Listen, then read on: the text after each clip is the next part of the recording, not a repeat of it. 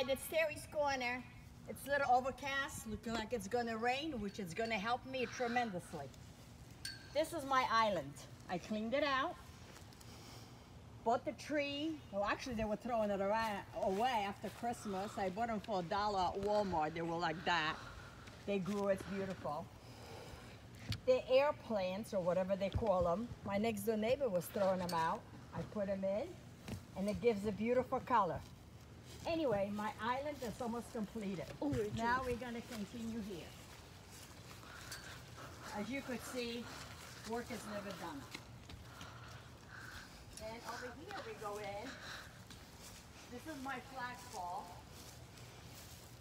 And uh, beautiful coloring flowers.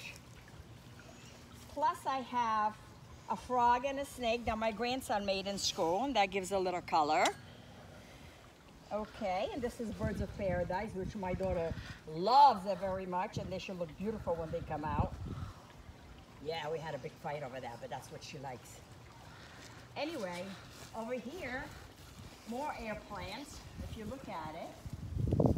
And this island in front of my office, it's almost finished. I got those pots way, way years ago, and I just filled them in with color.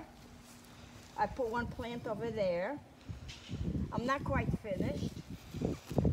I have put a little color in here. And then if you could see it,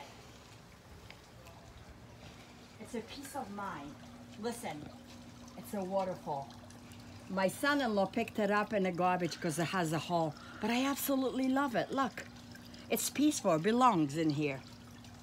Then, he picked it up and the guy, you know what? I could have bought a brand new, but why? I love it. Why waste money? And then over here, I'll show you a trick. I know, it's just a pot. I wasn't gonna throw it away because you see, look in the back, it's a broken pot.